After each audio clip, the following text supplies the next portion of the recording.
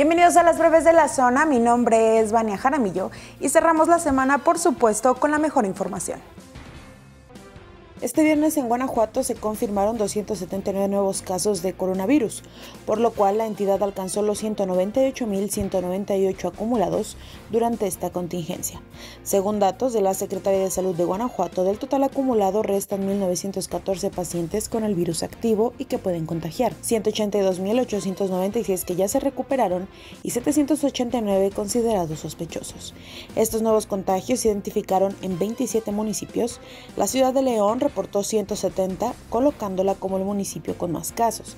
Le sigue Salamanca con 24, Celaya con 15 más y finalmente Irapuato con 12. También se confirmaron seis defunciones más ocasionadas por el virus. Ninguno de los pacientes se encontraba vacunado pese a pertenecer al sector de la población que recibió la vacuna desde inicios de este año. Dos de las víctimas eran originarias de Celaya, mientras que Ocampo, Pénjamo, San Felipe y San Francisco del Rincón reportaron una víctima cada uno. El panorama para la delegación de Cruz Roja en Guanajuato no es muy favorable, pues a las deudas se suma la poca recaudación que han tenido en la colecta anual nacional, informó el titular Guillermo Franco Ciurana. En entrevista, comentó que para la operatividad anual de la delegación es de 95 millones de pesos y los recursos se obtienen de la colecta, la expedición de certificados y algunos servicios.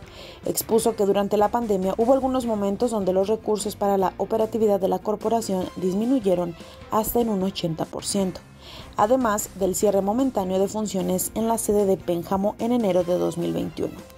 Franco Ciurana apuntó que el déficit ha generado algunas deudas en una sede no se han podido cubrir los gastos de combustible, pero es la delegación general la que adeuda entre 4 y 5 millones de pesos a la sede central de México. Además de las deudas, la Cruz Roja ha tenido una mala respuesta en la colecta, pues tan solo se ha recaudado el 10% de la meta que se propusieron este año. Las ocho unidades deportivas de la ciudad tendrán ingreso gratuito todos los miércoles a partir del próximo 5 de enero del 2022. Así lo anunció esta mañana la presidenta municipal Alejandra Gutiérrez Campos.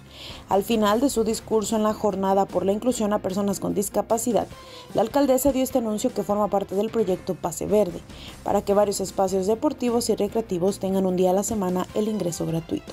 Durante entrevista, el director de la Comisión Municipal de Cultura Física y Deporte, Comude, Isaac Peña, confirmó que durante el próximo año la ciudadanía podrá ingresar de manera gratuita a realizar algún deporte como atletismo, fútbol o básquetbol. El subsidio para que se pueda otorgar la gratuidad será por 4 millones de pesos de recurso municipal. Estos ocho espacios deportivos son los siguientes. Deportiva Enrique Fernández Chapalita y Lama Satélite Cuecillo Nuevo Milenio, Parque del Árbol y San Miguel.